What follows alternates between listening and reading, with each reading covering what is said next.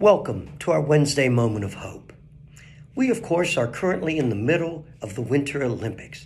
Now, I enjoy watching a lot of the various competitions. Athletes from all over the world have worked diligently to participate in these games. It is a life's dream for every single one of them. And even though they're all elite athletes, they all know who the favorites are in every competition. This does not, however, stop any of them from giving their all, doing their best.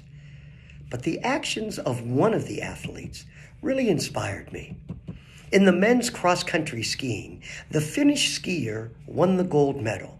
It was his third gold medal, and he was one of the favorites going in.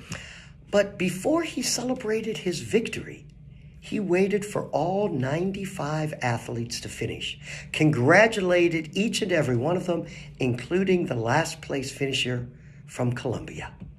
The picture of their embrace, to me, is what the Olympic spirit is all about. They both gave their all, and they both supported each other. That example needs to be exemplified by all of us. That Finnish skier showed us that one can work hard, even win a gold medal, and still not be selfish, still be able to think of others. You see, it wasn't just about him. He knew the Olympics should be bigger than that.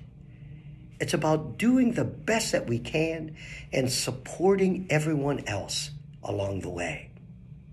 What a tremendous lesson shown to the world through this event. Now, see, it's events like this that give me hope.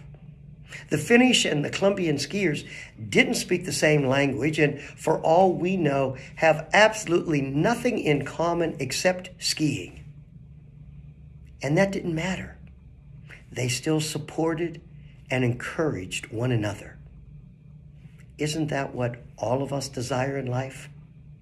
So let's learn from these skiers. Let's work hard. Let's do our best in whatever we are doing.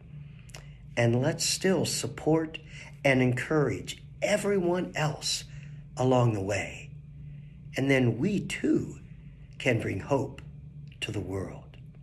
Have a blessed day today.